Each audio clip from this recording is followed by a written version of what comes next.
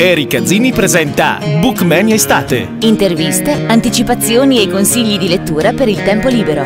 Bookmania Estate, un'esclusiva di TV. Un saluto a tutti e bentornati all'appuntamento speciale Bookmania Estate dove vi consigliamo le letture migliori in questo periodo e non solo, ma in particolare d'estate si sa il tempo è maggiore e quindi abbiamo un sacco di proposte per voi. Quest'oggi è nostra ospite Chiara Venturelli, benvenuta con noi. Grazie mille Erika di avermi invitato. È davvero un piacere perché l'anno scorso sei stata nostra ospite per presentare, per parlarci del tuo primo romanzo sì. che era Lezioni di seduzione che eccolo qua qua lo facciamo comparire eh, magicamente.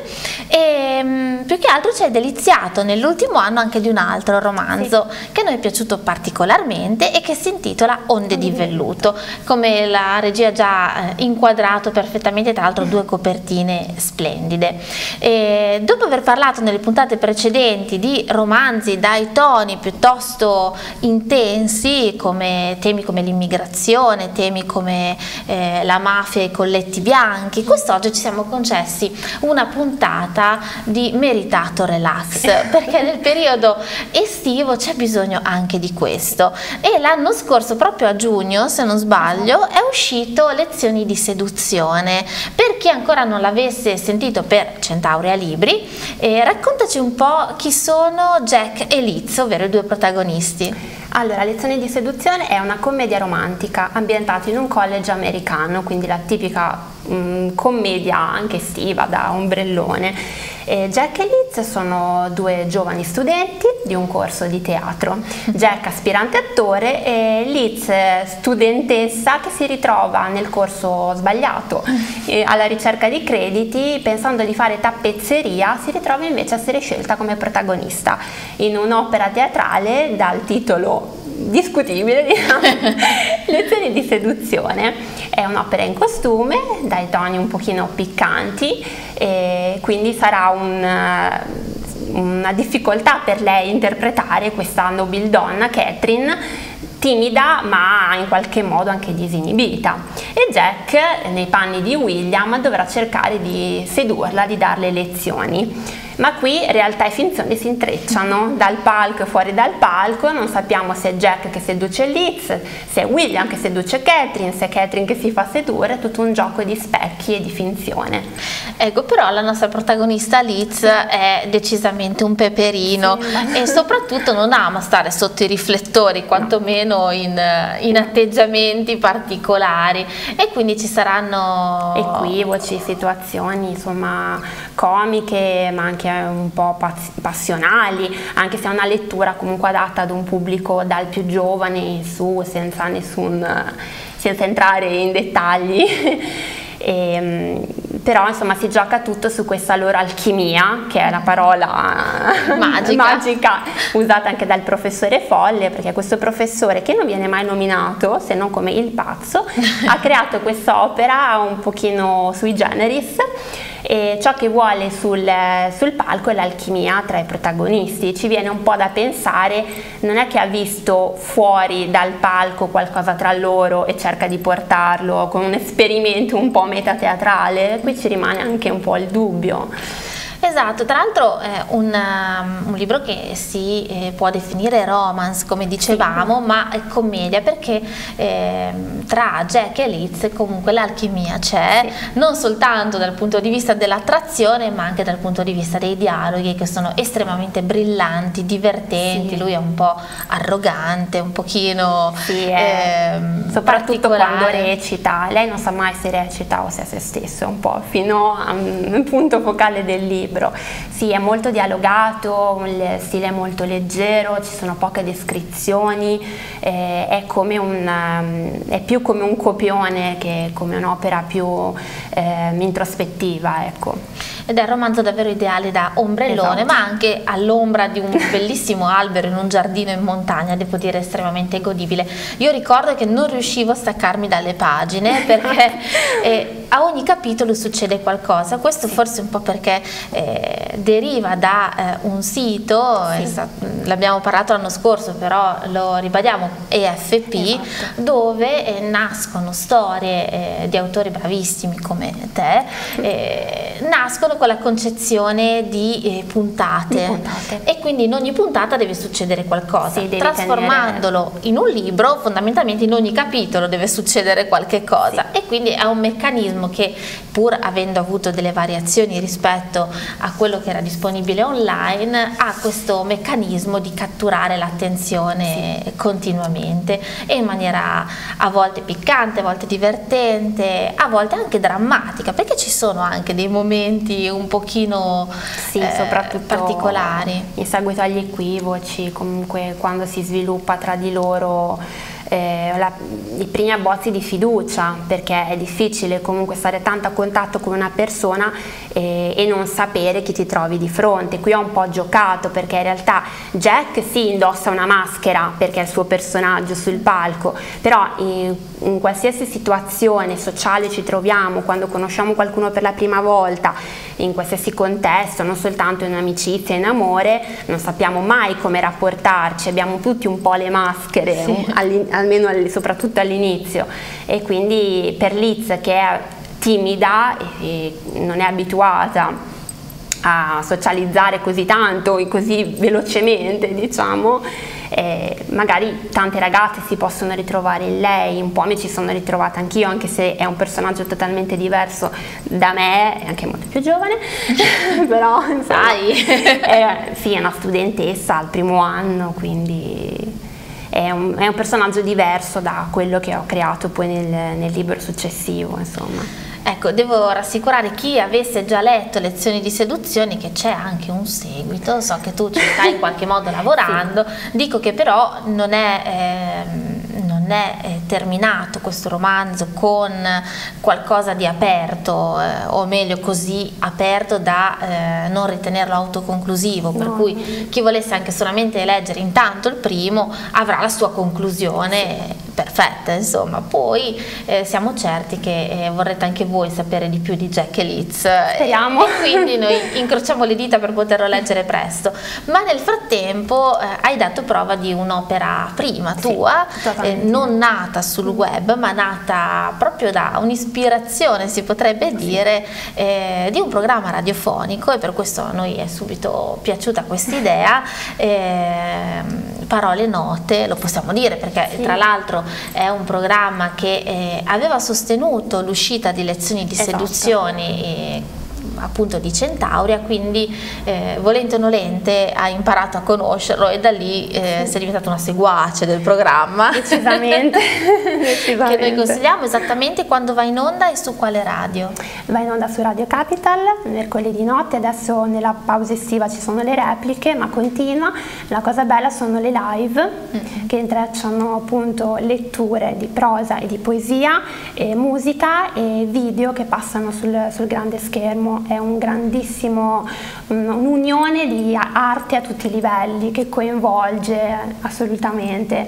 E ho avuto la fortuna di, di conoscerlo appunto grazie al progetto Talent di cui ha fatto parte eh, Lezioni di seduzione e mm, Giancarlo Cattaneo insieme al programma appunto Parole Note di Maurizio Rossato ha letto un, un estratto di lezioni di seduzione e quindi ho conosciuto questo programma e mi ha fatto compagnia durante la scrittura di Onde di Velluto ed è entrato fisicamente dentro a Onde di Velluto perché di fronte al mio primo vero grande inedito ho cercato ciò che amavo di più nel vicino, nel presente e nel passato e quindi non potevo non citare comunque i podcast e le letture che coinvolgono.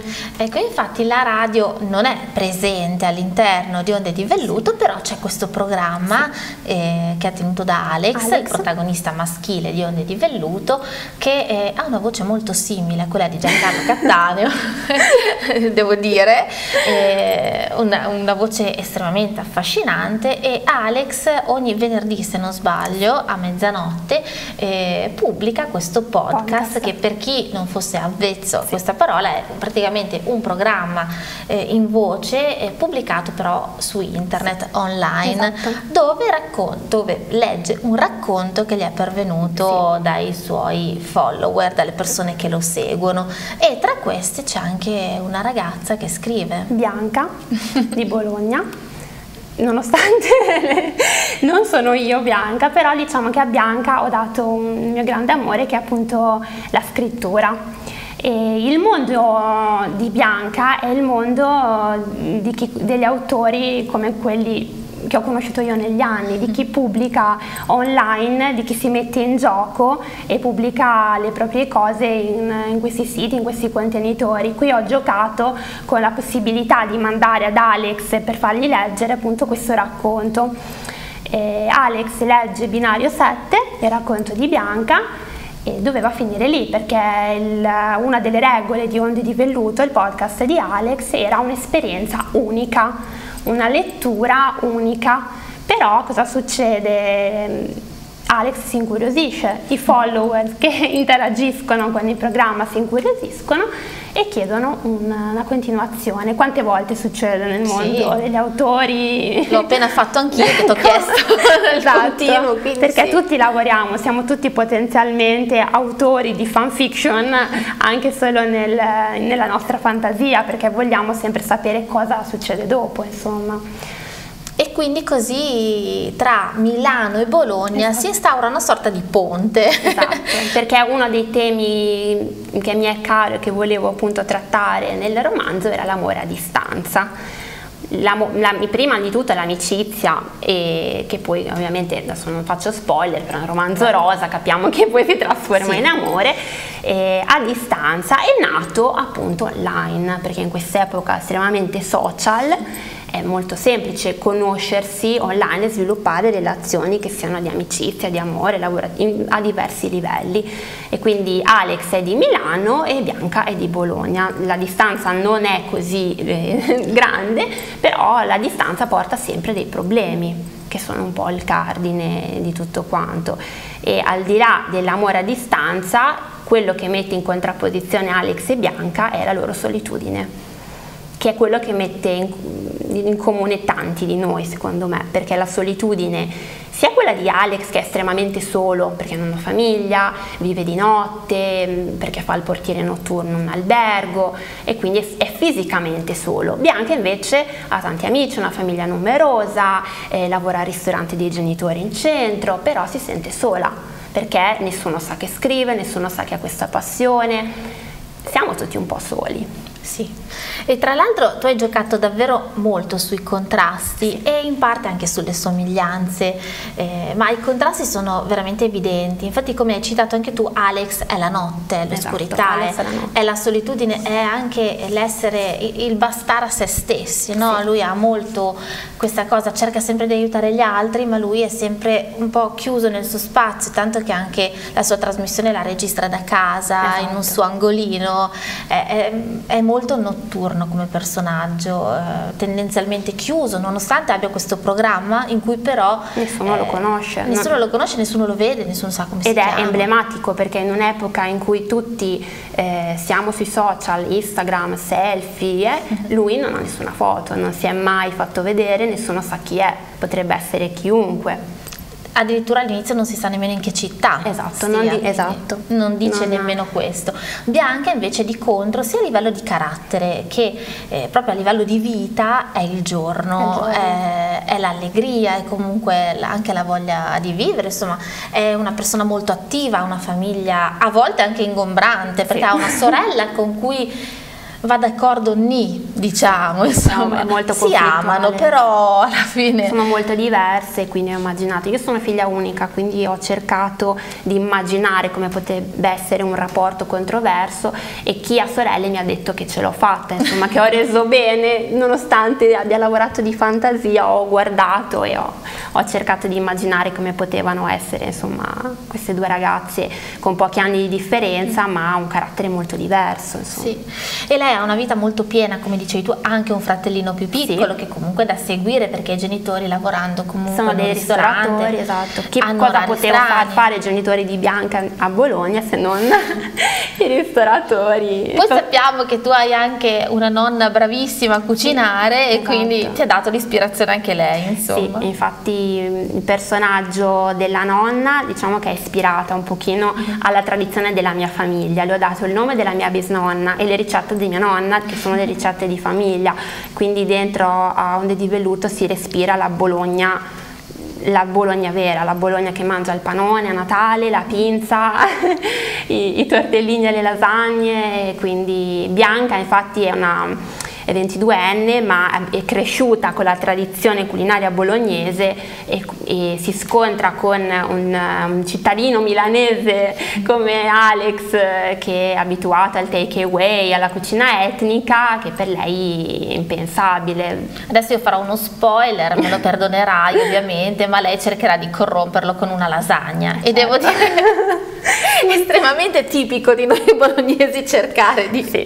prendere per la gola, voi fate finta di non aver sentito, però lei no, sono cose che anche che... questa tattica, no, più che altro impietosita dal fatto che lui poverino, abitando da solo, un ragazzo, insomma, fa quello che può No, io mangiare. mi rendo conto che per noi bolognesi la prima cosa hai mangiato e quindi è, è normale un residuo delle nonne, ma in realtà ce l'abbiamo anche sì, noi più giovani, esatto. insomma, e rompiamo piuttosto le scatole e diciamo che Bianca ci tiene alla sua salute di Alex e quindi col mangiare.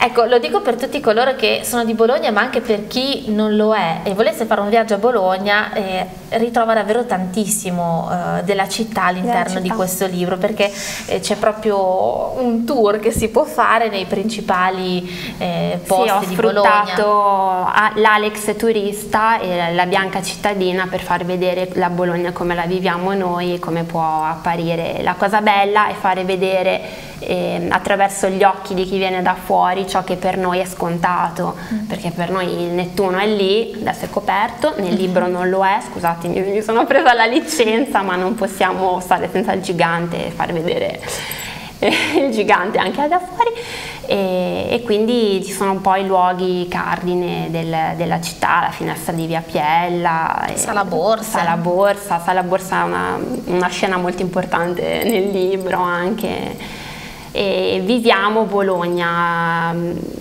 come è una Bologna questa mh, vista da chi comunque da chi la ama, io sono della provincia mm. quindi la vivo di giorno, mm. per me è sempre stata la città universitaria, la città della passeggiata domenicale e quindi è una Bologna solare, una, una Bologna turistica, una Bologna piena di vita, di, di cucina soprattutto e, mh, ho lasciato da parte insomma gli, i più i chiaroscuri della cronaca per dare il bello che possiamo far vedere insomma poi Bianca è così solare non potevo.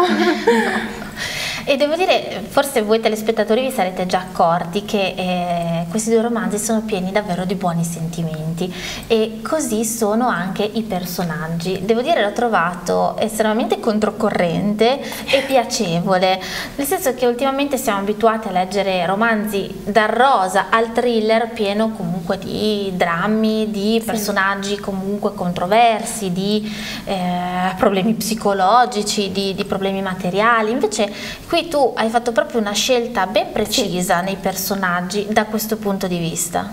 Hanno chiaramente i loro problemi, come tutti Ovviamente noi. Alex comunque ha avuto lutti, ha avuto, però ho sempre cercato eh, di, di, calcare sulla speranza, sulla, sulla crescita, eh, perché mm, comunque il prodotto finale per me era una, una storia che desse speranza, una storia d'amore che veicolasse eh, sentimenti, non soltanto di amore, amore ma anche amicizia perché ci sono sempre personaggi secondari, amici che aiutano le coppie aiutano anche dando una visione controcorrente perché in Onde di Velluto l'amica di Bianca è un po' la voce della ragione. Quante di noi si sarebbero sentite dire dall'amica ma come vai a incontrare una persona che non hai mai visto? Potrebbe essere chiunque e quindi infatti loro si incontrano sempre la prima volta in pubblico, mi raccomando. ecco, però non ci sono personaggi maschili cattivi o, o che compiono no, azioni. No, i miei uomini scorrette. sono sempre un pochino di, forse da altri tempi, anacronistici, non lo so, sono ragazzi. Io penso sempre anche a un personaggio maschile non farei fare mai qualcosa che da donna non perdonerei, mm. perché uno può immedesimarsi o meno nella protagonista femminile, però eh, se l'uomo diventa assolutamente o violento o la tradisce o non ha giustificazioni valide per il suo comportamento, smette di essere l'eroe romantico e quindi perde un po' quello che era il messaggio, insomma, quello che era la volontà di dare un momento di, di svago, mm, di relax, di sogno almeno nei libri leggiamo qualcosa che, sì. che vorremmo, qualcuno che vorremmo incontrare davvero nella vita reale. Ci sono queste persone sì. e quindi è giusto anche cercare di vivere questi sentimenti in maniera onesta, pulita, non senza incomprensioni perché abbiamo visto ce ne sono sì, tantissime, ma come è poi la vita di tutti i giorni. Quindi se volete un libro davvero divertente e rilassante per lezioni di seduzione e, e che vi faccia sognare per Onde di Velluto devo dire eh, segnatevi il nome di Chiara Venturelli perché senz'altro la risposta è in questi due libri. Eh, devo dire li ho entrambi divorati quindi sono certa di quello che vi sto dicendo perché come avrete notato non sono una particolare fan dei libri romance ma quando sono scritte bene le storie sono tutte davvero molto belle. E, ehm, io ci tengo intanto ad averti qua mi ha fatto davvero tantissimo piacere sono curiosa di vedere cosa ci proporrai prossimamente, ma arrivati verso la fine della nostra trasmissione, sai che qua stiamo dando consigli per le letture estive e anche a te prima della trasmissione ho chiesto di eh, prepararti, so che tu tra l'altro oltre a essere eh, una scrittrice sei una divoratrice di libri, sei forse prima ancora una grande lettrice. Sempre, lo dico sempre, sono più lettrice, sempre sarò lettrice. Assolutamente. Ti ho gettato nel panico. Nel chiedendo. panico più totale perché chiedermi di scegliere è stato, ho ridotto il più possibile la rosa alle ultime uscite, ho ridotto ancora e poi ho pensato che non era giusto che dessi un consiglio da sola perché mm, in casa mia si respira lettura, si respirano libri e nella valigia c'è sempre il libro per tutti e quindi mi porto tre consigli, uno mio, uno di mio marito e uno di mia figlia. Allora, la tua bellissima Melissa, quanti anni ha, lo diciamo? Allora, Melissa ha 4 anni e consiglia Eccoci. le storie dei pony. Questo perché in libreria la lascio libera di scegliere e quindi... È un libro coloratissimo, È coloratissimo, soprattutto le pagine sono a prova di bambino, è una cosa importante. Voleva far vedere un interno così per dare un'idea, ecco. Oh, che bello. Esatto, e mm, anche per lei, chiaramente lo leggo io, però sfogliarlo ricostruisce la storia che conosce meglio di me e quindi l'importante è questo, io la lascio libera in libreria di scegliere quello che vuole, poi chiaramente le do anche consigli in modo che mh, mm, accompagno la sua crescita partendo dai cartonati ai libri tattili, adesso siamo arrivati ai libri che può sfogliare. L'importante secondo me per i bambini piccoli è abituarsi al libro, mm -hmm. a sfogliarlo, ad averlo, ad amarlo fino a insomma in questo e quindi ho chiesto chiesto a lei. Mio marito invece ha proposto Papà Van Basten e altri supereroi di Edoardo Maturo, edizione Book e Book.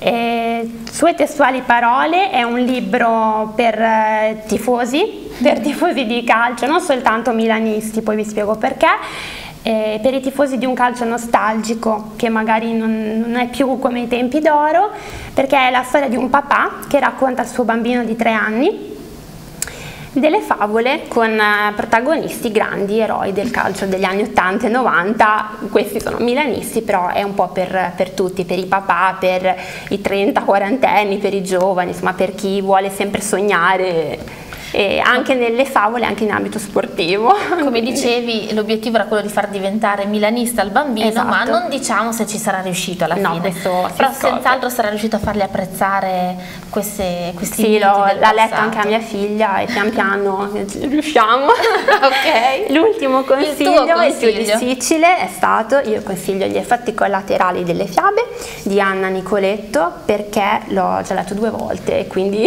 come Ho scelto... mm, Non solo leggi tanto, ma leggi anche due volte.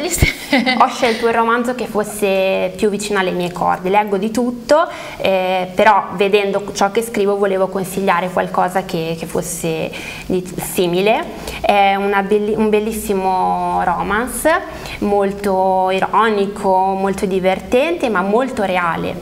Cioè, eh, Anna è riuscita a intersecare le fiabe con la realtà, non vi svelo altro, la protagonista si chiama Melissa come mia figlia, quindi questo è già un punto a favore.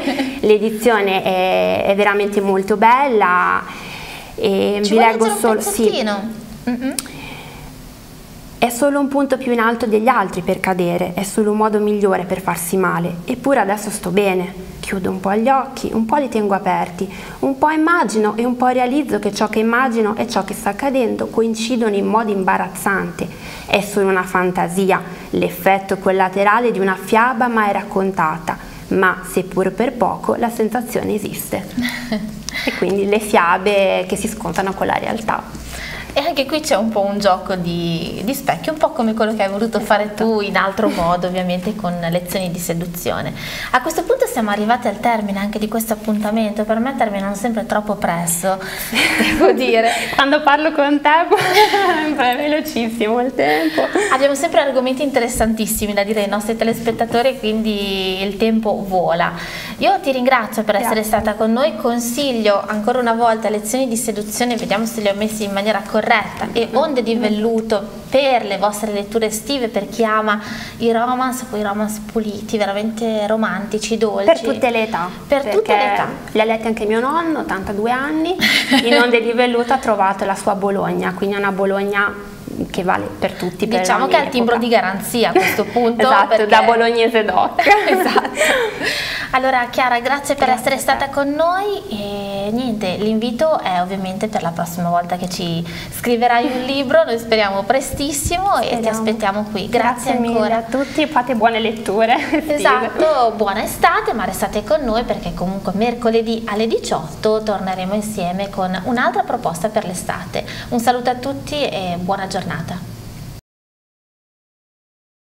Erika Zini presenta Bookmania Estate. Interviste, anticipazioni e consigli di lettura per il tempo libero. Bookmania Estate, un'esclusiva di TV.